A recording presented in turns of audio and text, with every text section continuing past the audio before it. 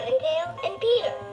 They lived in a rabbit hole with their mother underneath a large tree. Now, my dears, said old Mrs. Rabbit one morning, you may go into the fields or down the road, but don't go into Mr. McGregor's garden. Your father had an accident there and was put into a pie by Mrs. McGregor. Now run along and don't get into mischief. I'm going to buy some bread. Flopsy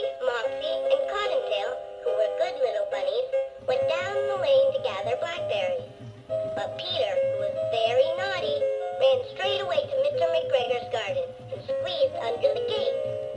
He ate some lettuce, some French beans, and some radishes, and then, feeling rather sick, he went to look for some parsley.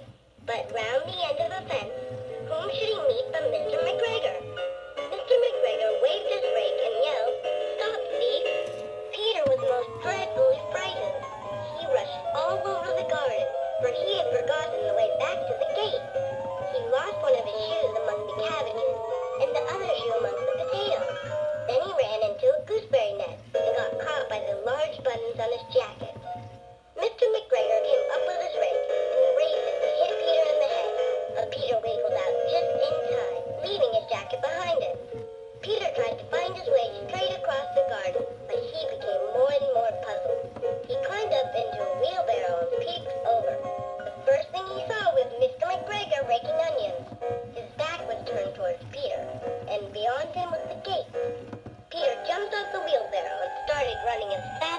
towards the gate.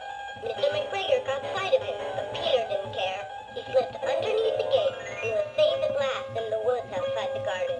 Peter never stopped running till he got home to the rabbit hole under the big tree. He was so tired that he flopped down upon the nice soft sand on the floor of the rabbit hole and shut his eyes. His mother was busy cooking. She wondered what he had done with his clothes. It was the second little jacket and pair of shoes that Peter had lost in one week.